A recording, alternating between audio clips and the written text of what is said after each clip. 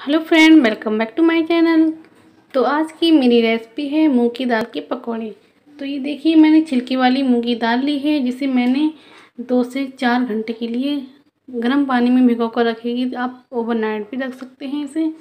और एक medium size की मैंने प्याज ली है, ये धनिया की पत्ती ली है एक बाउल और एक अदरक लहसुन का पेस्ट लिया है, ये कुछ मेथी ली है, ज़ीरा, ये नमक लिया है, और दो पिंच मैंने ही अजवाइन ली है और एक चम्मच मैंने रेड चिल्ली पाउडर लिया है। तो चलिए पहले इसको अच्छे से ग्राइंड कर लेते हैं। तो देखिए फ्रेंड, हमने ये बिल्कुल अच्छे से ग्राइंड कर लिया है। ज़्यादा बारीक हमने इसे ग्राइंड नहीं किया है। थोड़ा दरदरा ही रहने दिया है। अब इसको हम एक बाउल में कर लेते हैं।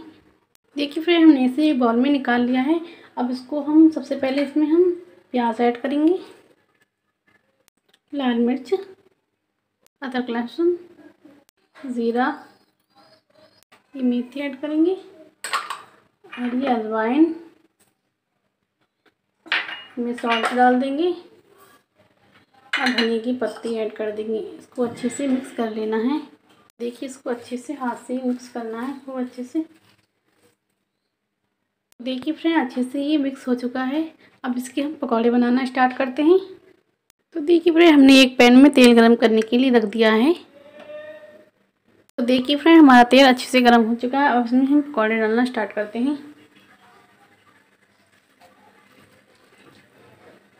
इस तरीके से हम छोटे छोटे पकौड़े डालेंगे। देखिए, सारे पकौड़ों को हम डाल देते हैं। देखिए, हमने सारे पकौड़ों को इसमें डाल दिया है, अब इसको अच्छे से तलेंगे।